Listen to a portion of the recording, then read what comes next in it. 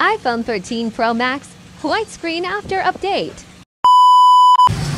Yo guys, magandang araw sa inyo lahat. Ah, panibagong araw naman para sa atin. Melon Sumi cell Speaking phone with Sunny repair. Vlog. Meron tayo tanggap ngayon ng iPhone 13 Pro Max. Problem niya is ito, nag-white screen siya. Ayan. In-update lang daw ni customer, tapos bigla na nag ganito.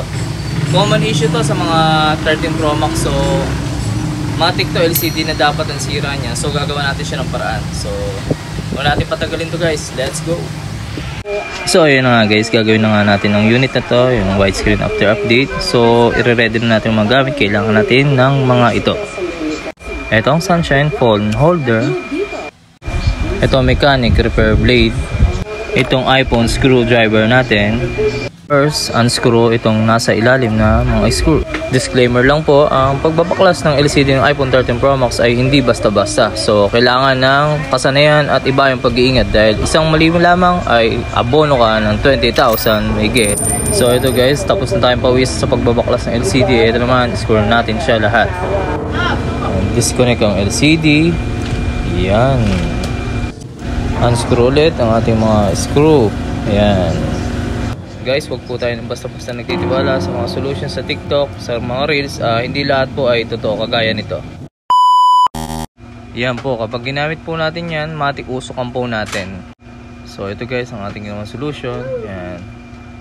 Naka-jump yan. So, lalagyan natin solder mask para safe ang pagka-jumper natin. So, after jumper, lalagyan natin ng UV light para matuyo yung ating solder mask. Ayan. After matuyo, uh, i-assemble natin yung unit. Titignan natin kung gagana na po siya. So, kailangan natin balik lahat ng screw. Walang maiwan kahit isa. Yan. 1, 2, 3. So, ito na ang ating finished product guys. Yan. Successful po tayo sa araw na ito.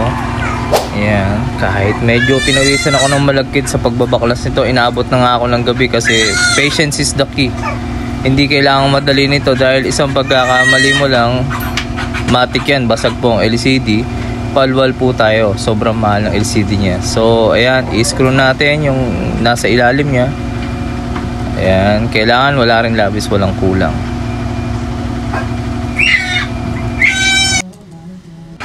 So ito na nga po guys. Yan itatak natin siya para yung dikit niya lalapat po ng maayos. Ayan.